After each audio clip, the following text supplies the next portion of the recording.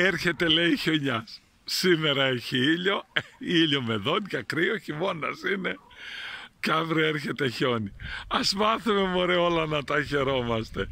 Και να μην λέμε τη λέξη, δεν μου αρέσει η λέξη κακοκαιρία. Δεν, κανένας καιρός δεν είναι κακός.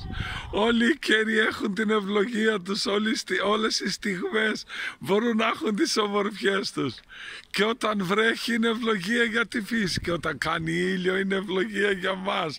Να απολαύσουμε τον ήλιο και η ζωή και η φύση και τα φυτά και τα ζώα. Όλα απολαμβάνουν τον ήλιο. Και όταν φυσάει είναι δροσούλα και όταν ε, δεν φυσάει είναι ζέστη και αύριο και μεθαύριο λέει θα έχει κρύο. Να το χαρούμε, να μάθουμε να χαιρόμαστε. Να χαιρόμαστε την άνοιξη, να χαιρόμαστε το καλοκαίρι, να χαιρόμαστε το φθινόφορο να χαιρόμαστε και το χειμώνα. Εκεί στο τζάκι και στη ζεστούλα. Αλλά, αλλά, αλλά όμως αυτές τις ώρες να θυμόμαστε και αυτούς που υποφέρουν από το κρύο.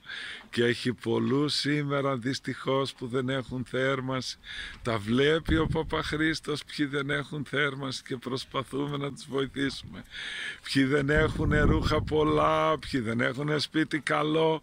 Υπάρχουν και οι άστεχοι που δεν έχουν σπίτι καθόλου.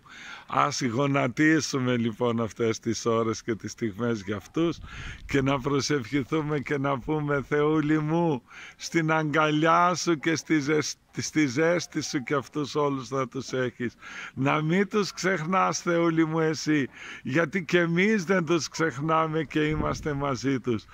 Άντε, χαρά είναι το χιόνι. Χαρά είναι το χιόνι. Χαρά και να κάτσουμε μέσα και να ζήσουμε την ομορφιά της ζέστης μας, την ομορφιά της καρδιάς μας, την ομορφιά της αγάπης μας. Άιντε μωρέ, να είστε καλά όλοι.